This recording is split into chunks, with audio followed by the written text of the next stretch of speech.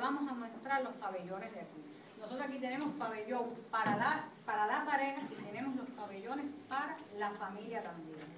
Eh, el pabellón de la familia, es un pabellón más bien dado por estímulo, donde puede venir la familia del interno, y ustedes van a ver allí, o del interno, compartir con toda su familia todo un día.